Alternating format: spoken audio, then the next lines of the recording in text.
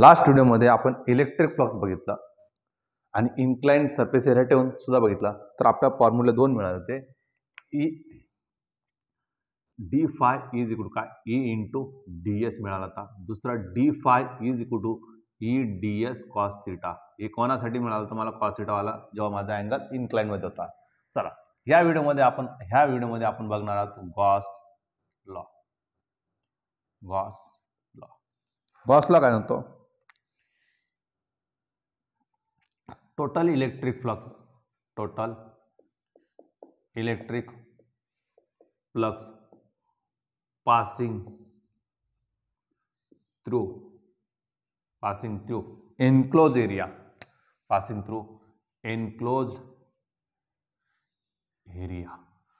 In total electric flux passing in through enclosed area is equal to the is equal to the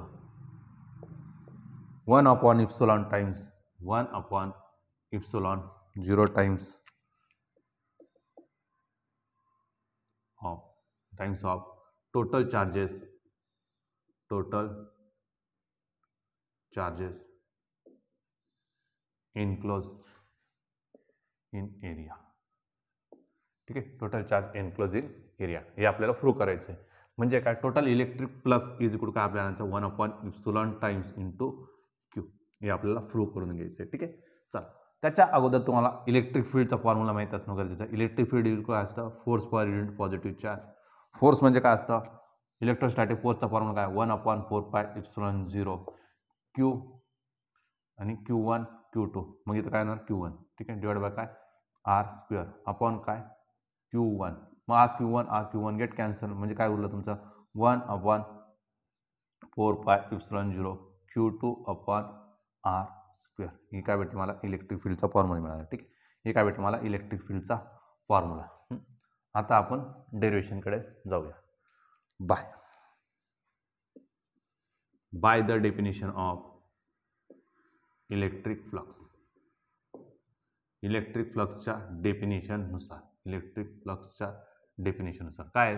D phi is equal to काय? E into D S cos theta D S cos theta ठीक आहे? चला. मग काय म्हटलं मी? D phi is equal to Icha formula काय? One upon four pi epsilon zero Q upon R square one upon four pi epsilon zero Q upon R square ठीक आहे? Q upon R square into काय? D S into काय? Cos theta D S into काय?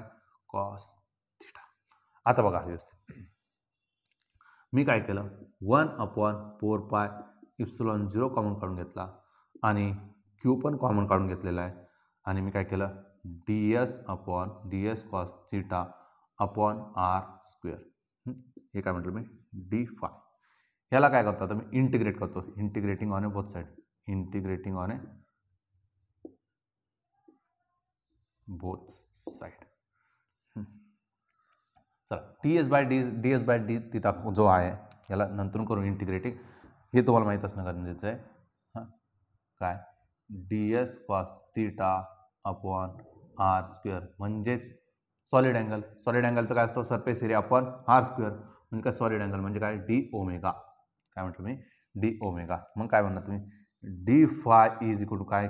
Q upon four pi epsilon zero into काय? D omega याला काय करू आपण? इंटिग्रेटिंग करू. Integrating on integrating on both side चला. इंटिग्रेटिंग केलं तर काय झालं? D phi is equal to काय? Q upon four phi epsilon zero constant आहे ते बाहेर आले. इंटिग्रेशन फक्त डी डब्ल्यू झालं. ठीक आहे? जेव्हा इलेक्ट्रिक फ्लक्स झिरो होतं तेव्हा प्ला एरिया पण काय होता तुमचा? झिरो जेव्हा एरिया कंप्लीट झाला एरिया किती कंप्लीट होणार आहे? सर्क्युलर शेपमध्ये त्याला तो फोर फाय होणार आहे आणि हा काउंट टोटल प्लस फाय होणार आहे. ठीक आहे? चला.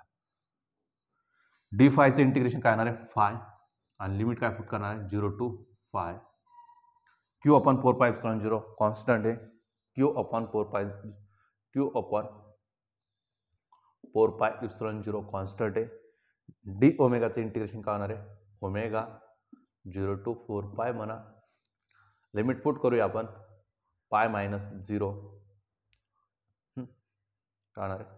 Pi minus zero is equal काय? Q upon four pi epsilon zero इथं काय होणार आहे? Four pi minus zero. चला फायचं युनिट काय झालं? Phi. Q upon four pi epsilon zero as it is घेतलं.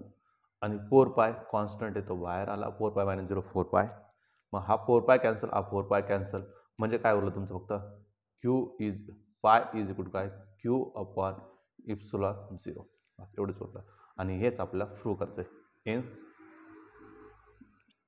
फ्रू ठीक आहे? हा झाला तुमचा गॉस लॉ. गॉस लॉवर आपल्याला ॲप्लिकेशन्स करायचे आहेत. त्याच्यामुळे व्यवस्थित समजून घेतलं. साय इज इक्वल काय वाटणार आहे? साय म्हणतो मी. फाय इज इक्वल काय वाटलं Q upon epsilon zero Q म्हणजे काय?